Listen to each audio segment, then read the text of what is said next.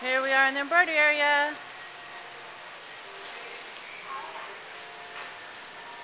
Oh, there's a big order going out. Yay!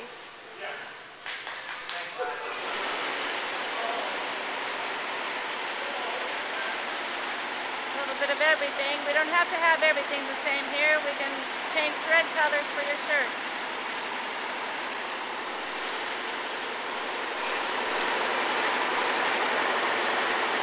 Esmeralda's setting up for an order, or just finishing up an order, I mean. There's an order over there. What a fun day.